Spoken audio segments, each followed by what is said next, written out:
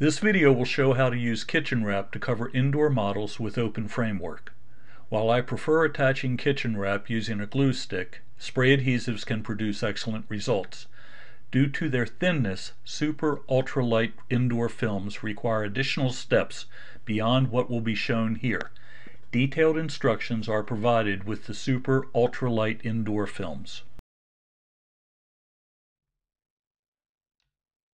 Roll the film onto a piece of newspaper. Static electricity will keep it in contact with the paper. Use a new razor blade to cut a piece of film 2 inches larger on each side than the part to be covered. Smooth out any wrinkles using a brush or your hands.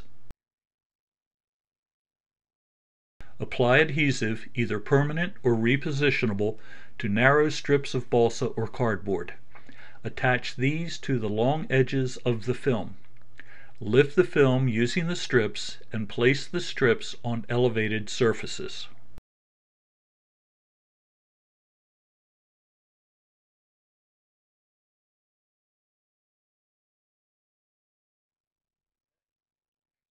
Before applying adhesive to the balsa structure, place it upside down on the film. Move one of the strips to allow the film to sag just enough so it is in full contact with the spars and curved ribs. It might be necessary to place additional pieces of balsa onto the balsa structure to give it sufficient weight to make full contact with the film.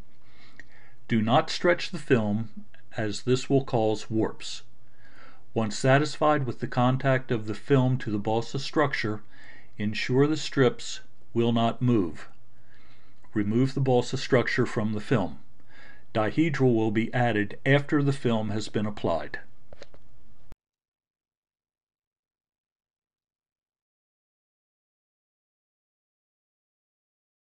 If at all possible, apply the spray adhesive outside.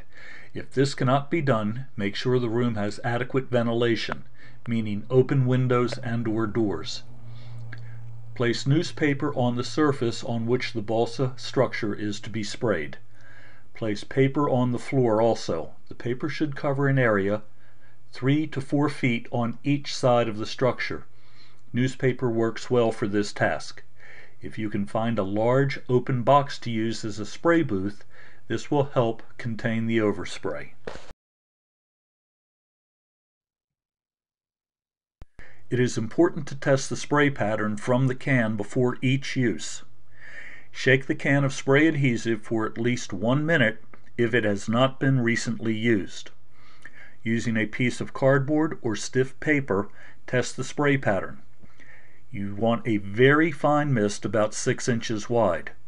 Hold the can approximately 18 to 24 inches from the cardboard to achieve a 6 inch width of spray or fan. Keep the can moving to one side while spraying. You want a very light coating of adhesive. Wait a minute or two and press some film onto the sprayed area to test the bond. After spraying, turn the can upside down and press the sprayer to clear the adhesive out of the nozzle.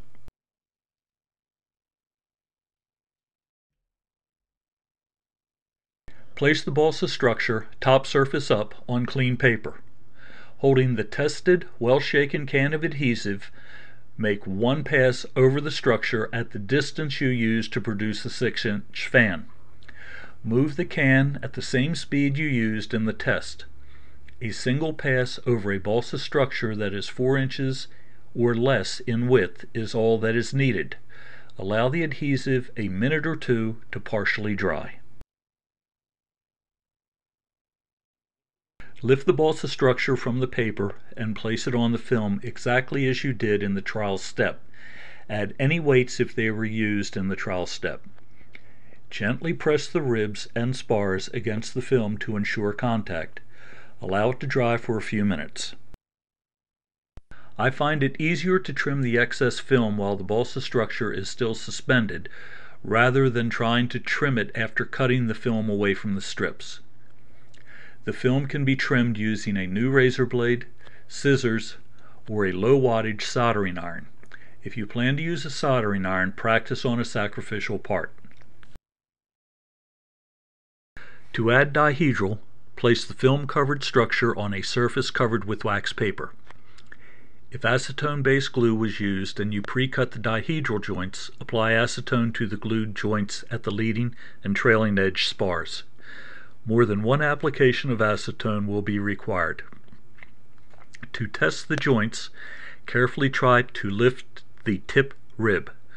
Once the joints become flexible, lift the tip of the wing panel to the height specified in the plans or instructions.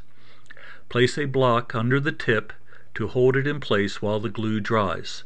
Any washout or wash in can be created at this step using shims. If you did not cut the angles before covering, cut through the film and spars in order to lift the tips. Raise the tips and glue the joints. When the tip is raised, the film near the dihedral angle will become loose. This is by no means a disaster. Spray a tiny amount of adhesive onto a piece of paper or into a container. Dip a small brush or flattened cotton swab into the adhesive. You can thin the adhesive to make it easier to handle. Gently apply the adhesive onto the film surface at the rib where the dihedral starts. Allow the adhesive to become sticky. Use a flat, dull, rounded piece of balsa or plastic to gently push the excess film over the rib. Do not worry if you cannot completely tighten the film on the outside panels. This is almost more for aesthetics than performance. If the balsa structure is made from straight strips, it is easy to cover with film. Cut a piece of film larger than the structure. Place it on a flat surface and remove any wrinkles. If necessary, tape or weight it to keep it in place. Be careful not to stretch the film as this will warp the structure. Spray the structure in the same manner as previously shown. Wait a minute or two and place the structure on the film and gently press the perimeter of the structure onto the film. Allow the adhesive to dry then trim the excess film.